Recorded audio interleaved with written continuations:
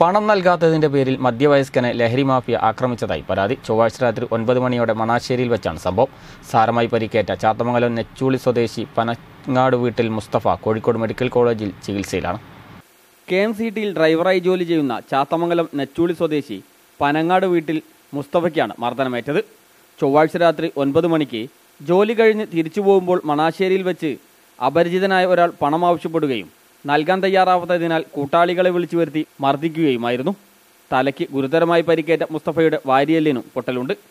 പരിക്കേറ്റ Mustafa Kozhikode medical college ആശുപത്രി I സിയുവിൽ ചികിത്സയിലാണ്. അക്രമികൾ സ്ഥിരമായി ഇത്തരത്തിൽ പണം ചോദിച്ചുള്ള ആക്രമണം നടത്താറുണ്ടെന്ന് നാട്ടുകാർ പറഞ്ഞു. സംഭവത്തിൽ മുക്കം പോലീസ് അന്വേഷണം ആരംഭിച്ചു. News bureau Mukkam.